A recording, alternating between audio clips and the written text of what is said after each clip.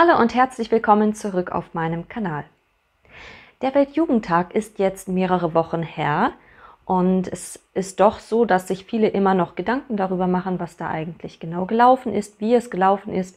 Ich hatte zu dem Thema auch zwei Videos abgedreht. Einerseits ging es mir um die Veranstalter, die durch das Programm und auch durch die Wortmeldungen, die vorab eben in den Medien laut wurden, das Ganze vom, vom Aspekt der Neuevangelisierung zum Aspekt der, des interreligiösen Dialogs äh, ja, äh, tendieren oder umorientieren wollten. Doch sah man natürlich, dass man als Teilnehmer des Weltjugendtags einfach wählerisch, wählerisch sein äh, musste und einfach schauen musste, wo kriege ich dennoch wirklich katholische Inhalte her, wo gibt es die guten Katechesen, wo kann ich auch auf jeden Fall mit Gnade beschenkt nach Hause fahren. Und das hat sich eben auch dann bestätigt. Ich habe auch ein zweites Video gedreht, da ging es mir eher darum, wie gehe ich mit, damit um, wenn ich Missstände sehe bei solchen Veranstaltungen. Also nicht, dass ich dann auf die Welt, äh, auf die ähm, Teilnehmer losgehe und sage, ihr kommt alle in die Hölle. Und ähm, dass es da natürlich auch unterschied unterschiedliche Dinge zu beachten gibt. Es gibt einerseits die Veranstalter, es gibt die, den Weltjugendtag als Grundkonzept, es gibt die Jugendlichen, die da hinkommen, es gibt die Priester, die den Messen beiwohnen, etc. Also da gibt es natürlich ganz, ganz viele Dinge zu beachten. Ich habe versucht, in dem Video eben diese Vielschichtigkeit zu zeigen, wurde dann irgendwie sogar als neokonservativ bezeichnet. Das war irgendwie ein bisschen komisch. Nur weil ich gesagt habe, wir können jetzt nicht aufeinander losgehen und Dabei ging es mir inhaltlich genau um dasselbe. Da habe ich ja überhaupt gar nichts zu gesagt, dass das nämlich äh, natürlich ein No-Go ist, mit dem Allerheiligsten so respektlos und lieblos umzugehen, das ist klar. Deshalb habe ich gesagt, das ist nicht mal der Rede wert. Ich glaube, das ist uns allen klar. Mir ging es eher um die Haltung, wie gehe ich als Person dann um, wenn ich das alles sehe und was da alles schief läuft. Wie gehe ich damit um? Wie reagiere ich? Und wie ist da dann die Haltung, die richtige Haltung auch zum Beispiel gegenüber den Jugendlichen. Aber gut, auf jeden Fall, warum spreche ich über dieses Thema und warum fange ich jetzt wieder mit dem Weltjugendtag an? Ich habe in diesen letzten Wochen sehr viel nachgedacht. Insbesondere deshalb, weil diese Missstände sich in, im Kontext der Eucharistie gezeigt haben. Wie gehe ich mit der Eucharistie um? Und das war ja auch eigentlich der Aufhänger für diese ganzen Diskussionen innerhalb der katholischen Spektren, sag ich mal, auch gerade auf YouTube. Und ich habe einfach versucht, diese Dinge so ein bisschen zu ordnen, zu systematisieren und versucht, das alles so ein bisschen runterzuschreiben. Da haben sich nämlich auch in den sozialen Medien so ein paar Grund, Ausrichtungen herauskristallisiert. Die möchte ich alle auch noch berücksichtigen und habe versucht, das Ganze jetzt erstmal zusammenzubringen und möchte das einfach heute mal mit Ihnen teilen. Für die, die es nicht mitbekommen haben, äh, beim Weltjugendtag gab es einige Fauxpas. Also Fauxpas klingt so nach einer Lappalie. Es waren keine Fauxpas, das waren wirklich ganz schlimme Dinge, die da schiefgelaufen sind. So hat man zum Beispiel den Herrn in IKEA-Schüsseln ausgeteilt. Und da gab es eben unterschiedliche Reaktionen drauf. Die einen haben dann so gesagt, das kann man mit dem Herrn doch nicht machen, das ist total unwürdig. Für den Herrn ist das äh, Beste gerade gut genug. Und andere wiederum haben so gesagt, ja, das kann sein, aber der Herr ist ja trotzdem auch äh, in der Armut des Stalls auf die Welt gekommen und er braucht den Prunk ja auch gar nicht.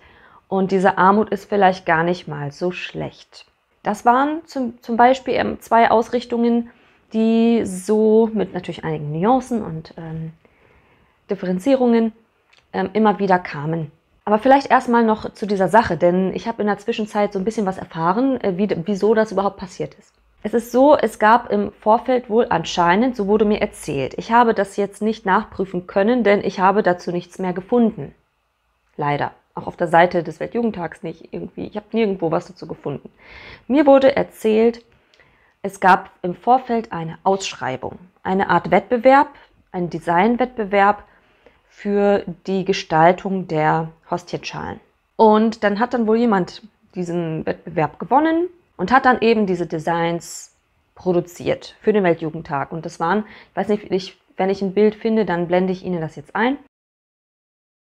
Man hat ähm, also ein schlichtes Design gewählt, das sehr glatt ist, ohne großen, großes Geschnörkel oder so und in Perlmutt. Man kann auch sehen, da sind so Klappen oder Deckel, ja, eher Klappen, äh, zum Schutz der Hostien.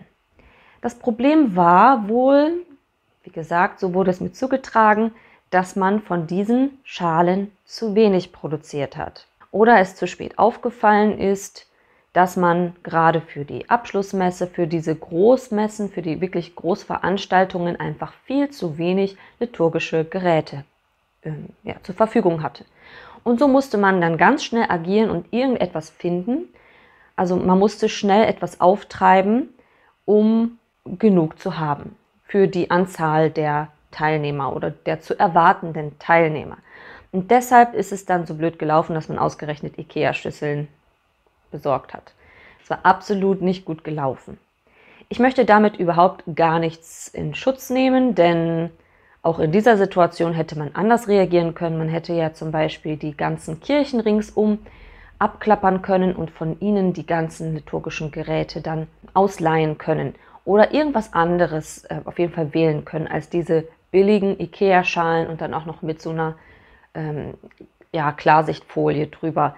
Das war einfach, oder Frischhaltefolie. Also es war nicht nur ein logistischer Fail, das war auch irgendwie schon ähm, wiederum ein Zeichen dafür, dass man vielleicht von, von denen, die dafür zuständig waren, äh, nicht so das Gespür für das Heilige voraussetzen konnte.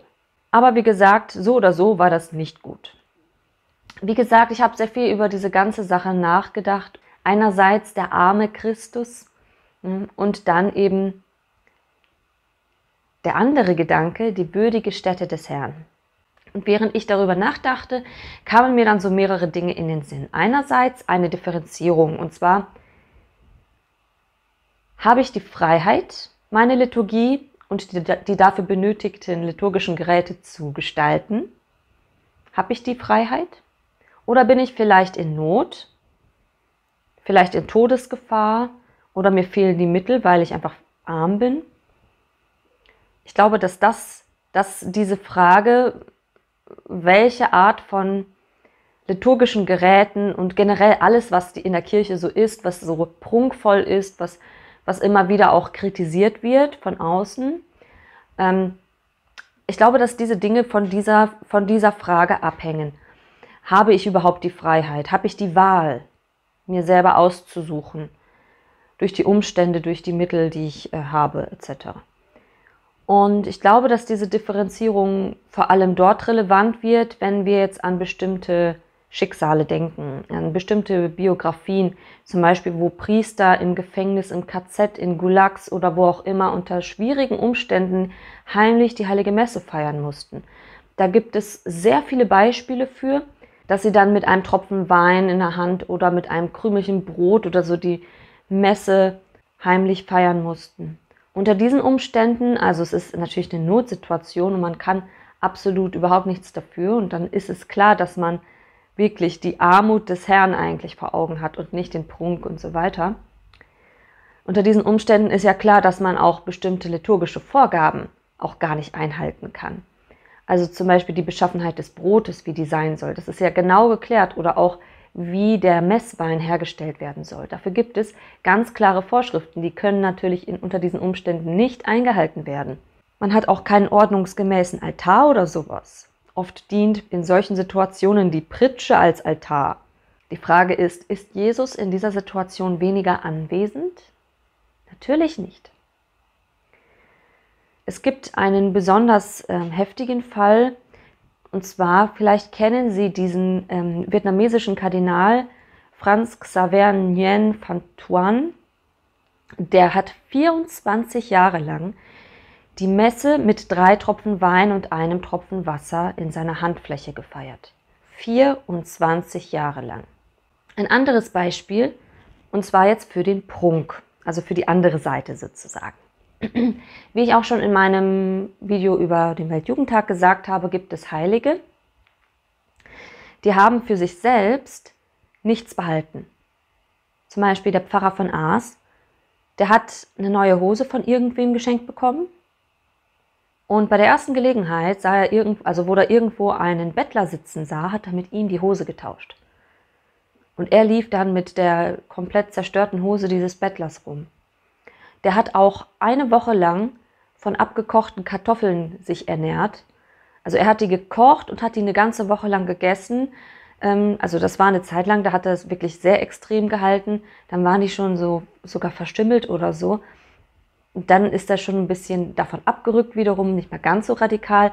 Und doch hat er sich so ernährt. Der hat für sich selber gar nichts großartig ähm, ja, investiert, in sich investiert. Auch die, das Pfarrhaus, da hat er, glaube ich, auch die ganzen Möbel, die ihm zur Verfügung gestellt wurden, äh, verschenkt oder verkauft. Ich weiß gar nicht mehr genau äh, die Einzelheiten. Aber zum Beispiel jetzt so ein Pfarrer von Aas oder natürlich auch Franz von Assisi der einen Bettelorden gegründet hat. Das sind Heilige, die haben für sich selbst nichts gelassen. Die haben wirklich ein bitterarmes Leben geführt. Aber sie haben alle Mittel zusammengekratzt, um das Beste für die Liturgie auftreiben zu können.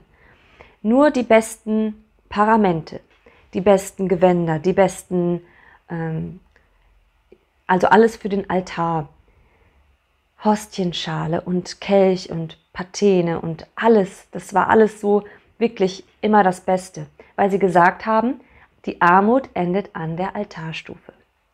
Und für den Herrn können wir nicht anders, als immer nur das Beste zu wählen.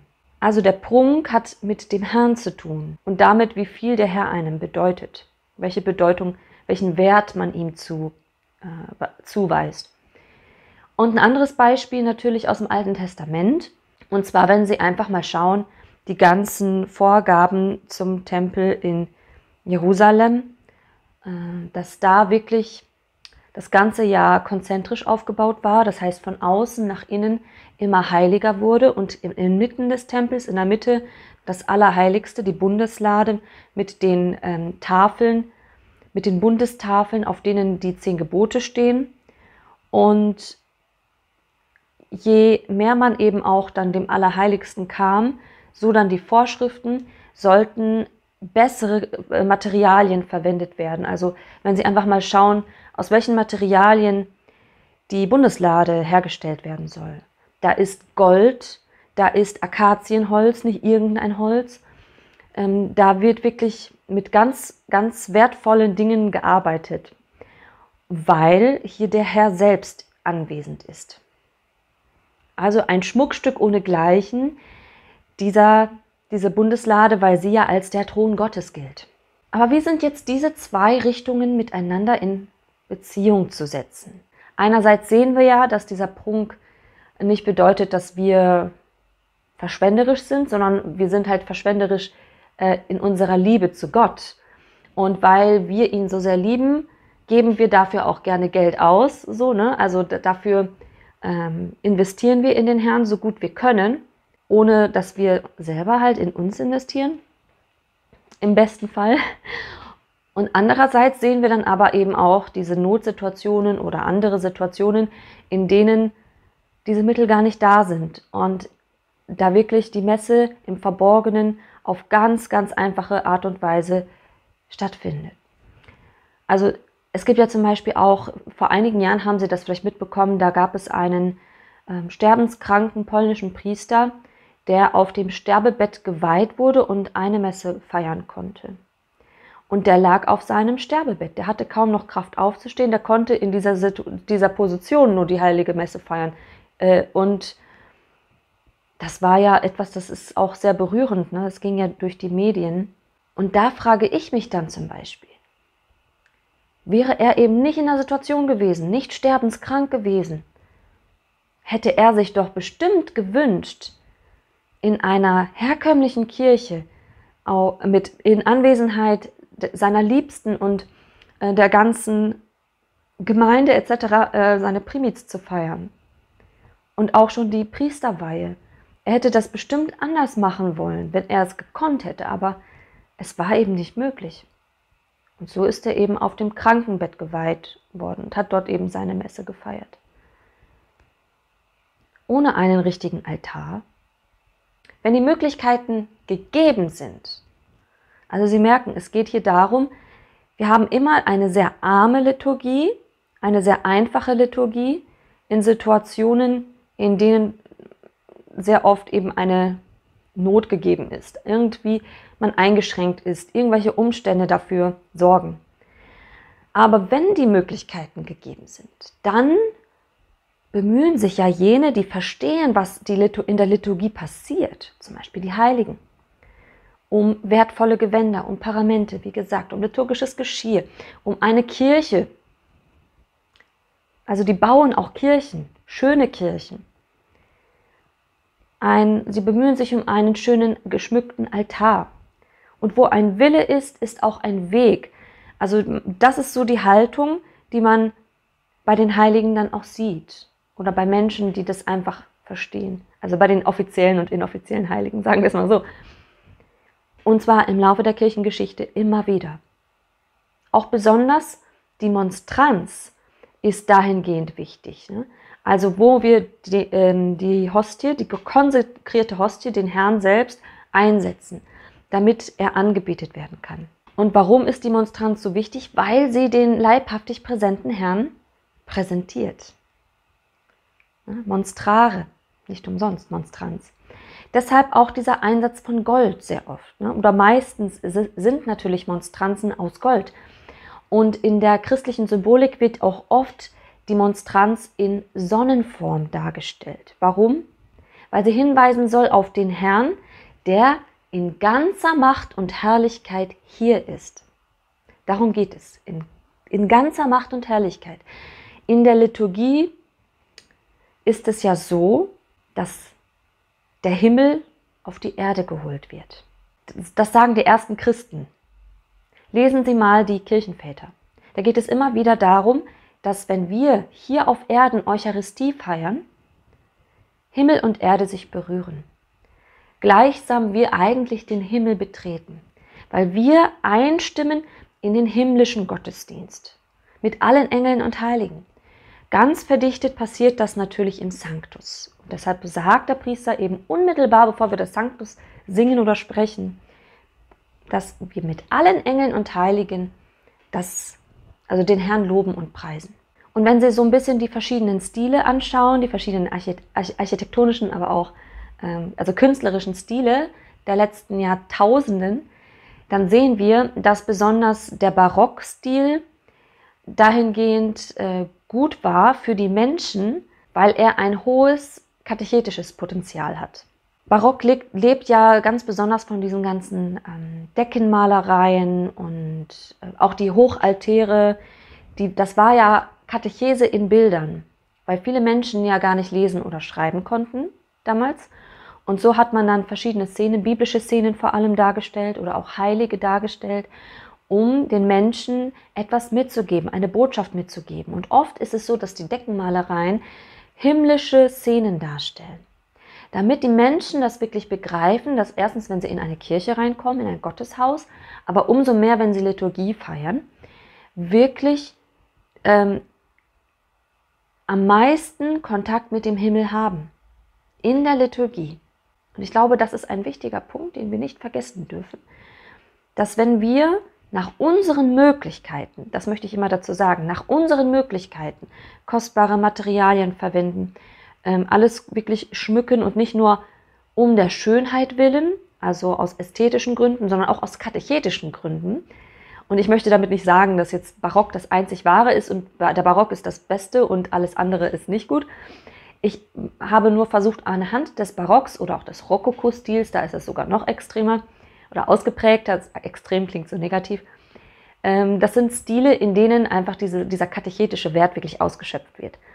Äh, bei anderen ist das natürlich auch der Fall, auf andere Weise, aber ich wollte einfach ein besonders zugespitztes Beispiel wählen. Bitte verstehen Sie mich nicht falsch.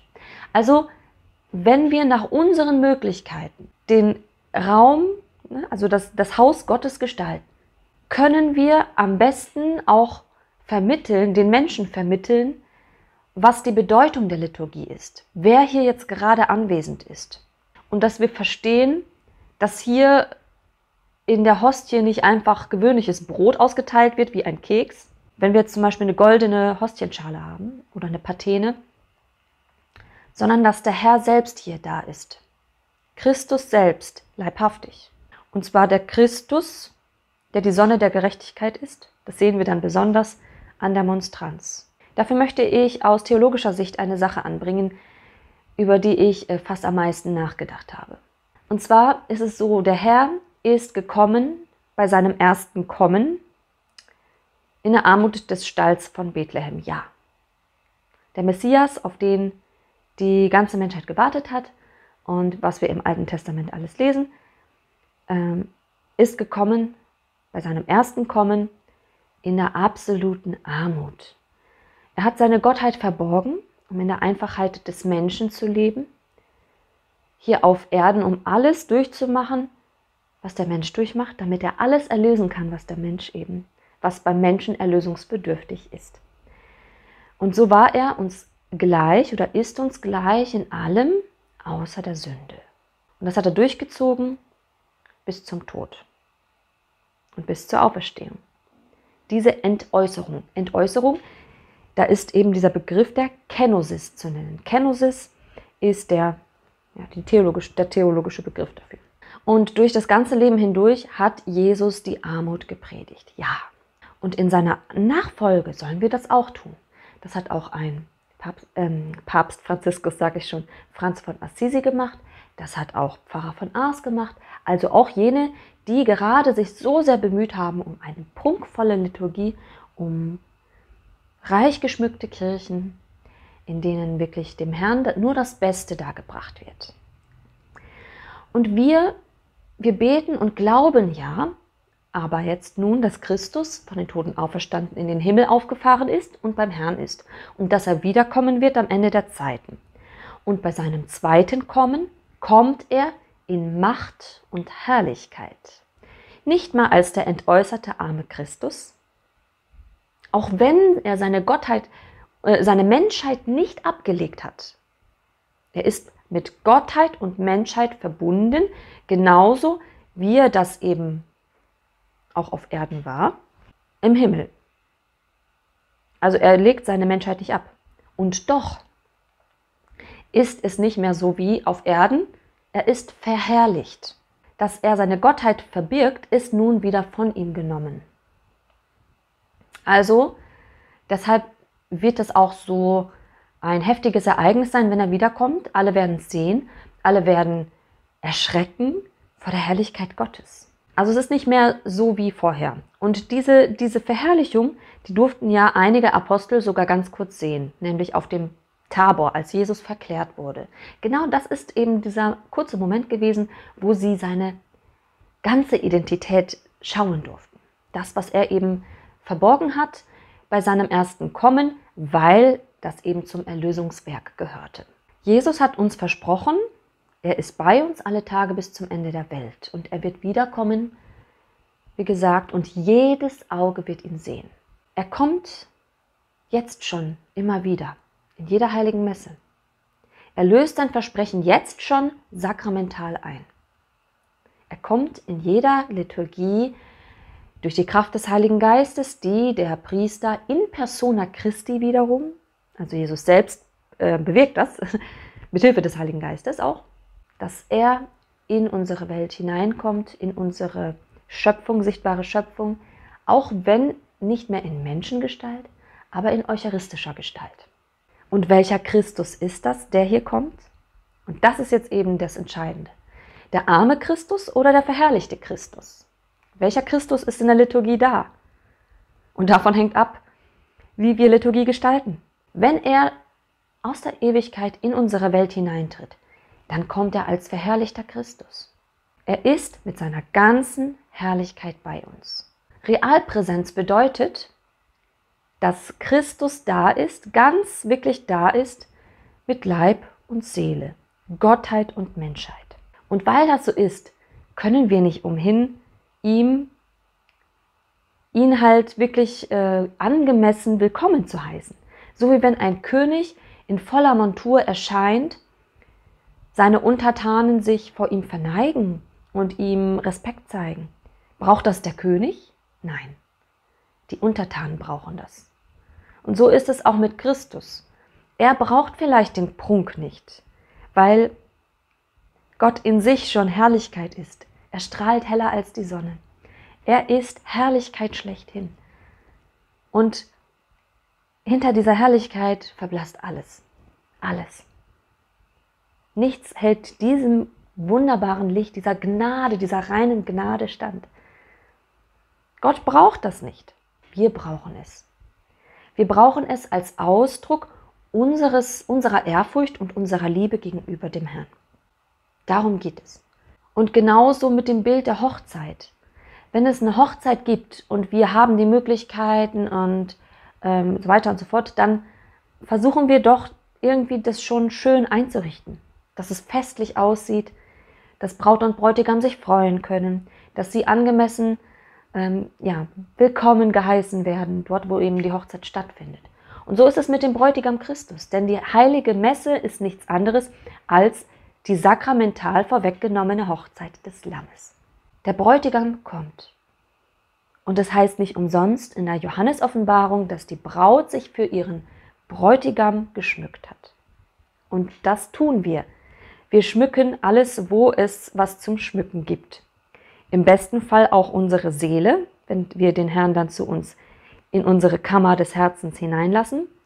Denn jeder einzelne von uns empfängt den Herrn ja in der Kommunion. Und dementsprechend wollen wir uns auch dort schmücken und uns bereit machen. Und das tun wir zum Beispiel, indem wir im Stand der Gnade sind, gebeichtet haben und nicht im Zustand der Todsünde den Herrn empfangen.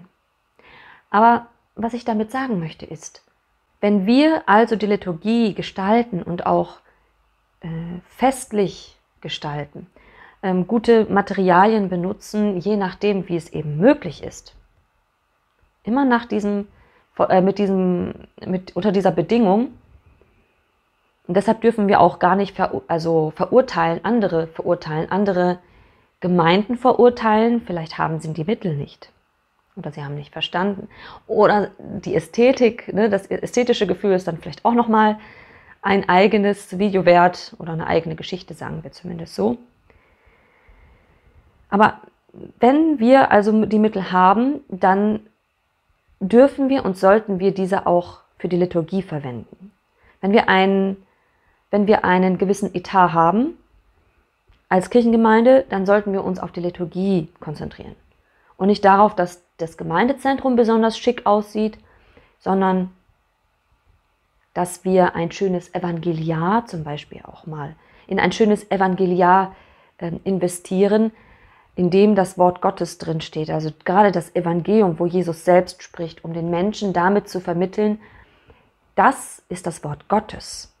Und das Wort Gottes fassen wir in ein besonders schönes ähm, Buch, damit ihr versteht, das ist jetzt nicht nur irgendein Text, der vorgelesen wird, sondern der Herr selbst möchte zu uns sprechen, zu jedem Einzelnen ins Herz hinein eine Botschaft geben. Oder wie gesagt, liturgisches Geschirr, gute ähm, Altardecken, ähm, schöne Gewänder, die auch wiederum so ein reiches Potenzial bergen für Katechese, auf, der man, auf denen man wirklich ähm, so tolle Botschaften auch abbilden kann, und es gibt auch so gute Möglichkeiten. Es gibt so viele liebevolle Ordens, also Frauen, die wunderschöne Gewänder sticken.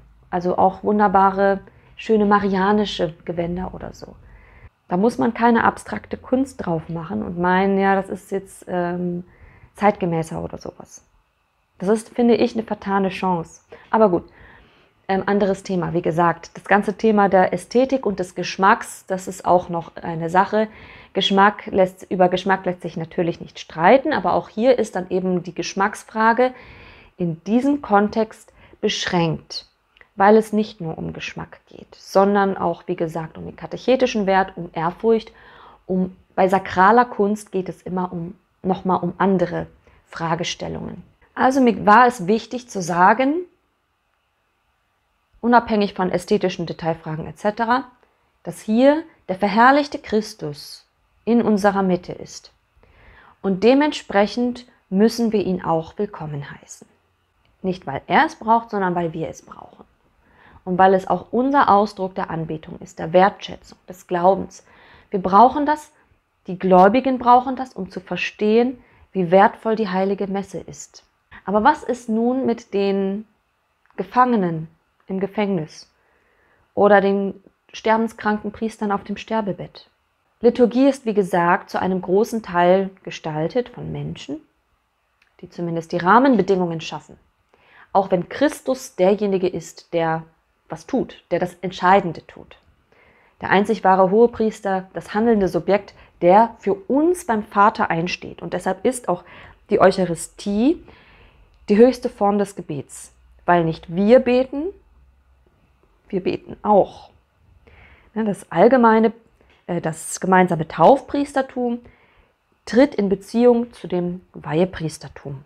Aber das Entscheidende, damit Christus wirklich da ist, etc., dass die Gaben gewandelt werden und so, das hängt von Christus ab, beziehungsweise seinen geweihten Dienern, die in seiner Person, das sind die, die sich zur Verfügung stellen, ihre Hände, ihren Mund ne, für die, für die Einsetzungsworte zur Verfügung stellen. Aber Christus ist es, der hier eben wirkt.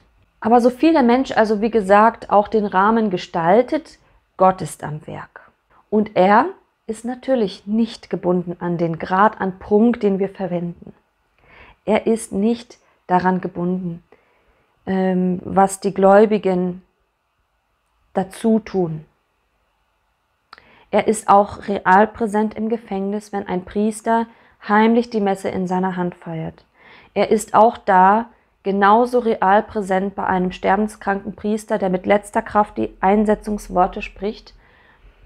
Und er ist sogar real präsent in einer Messe, wo die Laien die Messe mitgestalten bis sie verunstaltet ist, also auch bei liturgischen Missbräuchen. Er ist größer als unser menschliches Zutun, um einmal das andere Extrem in den Blick zu nehmen. Das ist ein großer Trost, weil für uns dann auch deutlich wird, dass die Gültigkeit einer heiligen Messe nicht davon abhängt. Es gibt, Gott sei Dank, die Unterscheidung von Gültigkeit und Erlaubtheit. Natürlich ist es nicht erlaubt, diese liturgischen Missbräuche zu betreiben, bestimmte Dinge einfach eigenmächtig zu ändern in der Liturgie. Aber das macht die Messe noch nicht ungültig, Gott sei Dank. Auch wenn wir als Gläubige daran Anstoß nehmen, dürfen wir uns damit trösten, dass es trotzdem eine gültige Messe ist. Vorausgesetzt, der Priester tut das in der Messe durch die, von der Intention her, was die Kirche also mit der Messe intendiert beabsichtigt, nämlich die Wandlung der Gaben. Also fragen wir uns, was wir mit unserer Gestaltungsfreiheit machen, bezüglich liturgischen Geräten, aber auch Gewändern, selbst beim Bau der Kirchen. Das Thema sakrale Kunst ist wirklich, das ist ein, ein großes Thema. Man könnte hier so viel über neue, neu gebaute Kirchen sprechen, über moderne Kunst in der Liturgie und äh, generell in Kirchenräumen, äh, wo ist die Grenze der, des Geschmacks, ne, der, Ästhetik, äh, wo wird die überschritten und so. Aber das mag in Klammern. Fragen wir uns aber jetzt an dieser Stelle, wie wir reagieren in einer Situation, in der wir ausgeliefert sind. So wie jetzt beim Weltjugendtag, wo wir die Freiheit, die Gestaltungsfreiheit nicht haben. Ich denke da an ein junges Mädchen, das beim Weltjugendtag war und das auch äh, dazu dann einen Post, ich glaube, auf Instagram gemacht hat. Savannah Dutzig heißt sie und äh, sie hatte davon berichtet, ähm, als sie bei der Anbetung war, also an einem Abend vor dem oder bei der Vigil, am Abend vor der Abschlussmesse. Am letzten Abend des Weltjugendtags und dann gingen, sie am, gingen die am Zelt vorbei und sahen da Jugendliche und dann haben die festgestellt, in diesen grauen Aufbewahrungsboxen, die Sie auch auf, dem Bild, auf Bildern wahrscheinlich gesehen haben, äh, ist der Herr real präsent. Er ist da. Und sie hat ganz, ganz großen Anstoß daran genommen, wie lieblos man mit den konsekrierten Hostien umgegangen ist. Aber sie hat das nicht genutzt, um rumzustänkern, sondern sie hat sich hingekniet und den Herrn angebetet.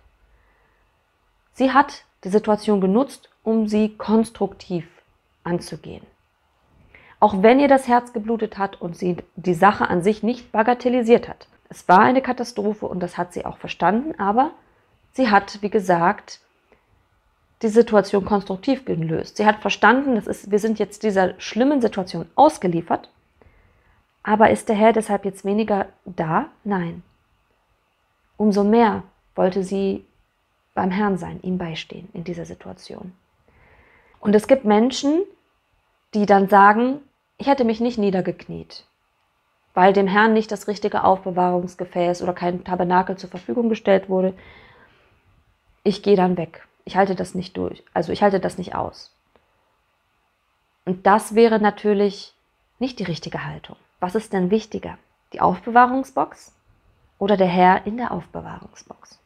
Sich niederzuknien und den Herrn trotzdem anzubeten, heißt ja nicht, dass wir dieser Sache zustimmen, dass wir das Ganze herunterspielen. Das bedeutet einfach nur, dass wir bei ihm sind und das Wesentliche nicht vergessen, unabhängig von all diesen äußeren Umständen. Das ist vielleicht zum Abschluss nochmal so ein Impuls für Sie zum Nachdenken. Was hätten Sie gemacht in dieser Situation? Hätten Sie sich vor diesen äh, grauen Aufbewahrungsboxen hingekniet und den Herrn angebetet oder wären Sie weggegangen? Ich hoffe, dass Sie, das, dass Sie meine Gedanken, meine Differenzierung auch richtig verstehen und nicht als Relativierung irgendwie jetzt missverstehen. Es ist absolut wichtig, dass wir dem Herrn das Beste geben, was wir haben. Und das Beste sind natürlich unabhängig von diesen ganzen Fragen, welche liturgischen Geräte benutzen wir, wie prunkvoll sind die Gewänder, das Allerwertvollste, was wir ihm geben, ist unser Herz. Denn auch das legen wir mit auf den Altar, damit unsere Herzen gewandelt werden. Wir sollen nicht beschnitten sein äußerlich, sondern unsere Herzen müssen beschnitten sein. Ähm, um es einfach mal alttestamentlich auszudrücken, das können wir natürlich jetzt auch auf unsere Situation übertragen. Denn er möchte auch unser Leben wandeln. Und das beginnt alles mit dem Herzen. Aber davon ausgehend ist alles andere Ausdruck dessen, was in unserem Herzen welchen Stellenwert einnimmt. Im Rahmen der Katechismus-Videos, die ich demnächst übrigens wieder anfangen möchte, habe ich schon mal über Liturgie gesprochen. Hier können Sie dieses Video anklicken. Und hier sehen Sie mein letztes Video, das ich hochgeladen habe. Bis zum nächsten Video wünsche ich Ihnen alles Gute, gottesreichen Segen. Seien Sie behütet und beschützt. Machen Sie es gut.